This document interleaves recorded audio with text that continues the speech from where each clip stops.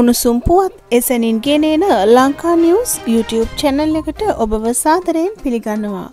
ඉන්දන මිල වැඩි වූවත්න් පාර්ලිමේන්තු මන්ත්‍රීවරුන්ගේ ඉන්දන දීමනාව ඊට සමාගාමී වැඩි නොකිරීමට රජය තීරණය කර තිබෙනවා. මේ තීරණය ගෙන ඇත්තේ රටේ පවතින ආර්ථික තත්ත්වය සැලකිල්ලට ගෙනයි. පවතින ඉන්දන මිල සහ ගලපා ඉන්දන දීමනාව ලබාදීම මෙතෙක් සිදු කෙරුණා.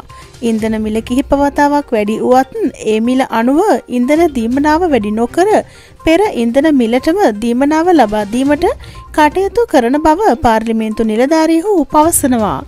මෙවැනි කොසිප් තිනපදා දැන ගැනීමට දන්මම අපිව සබස්ක්‍රයිබ් කරන්න.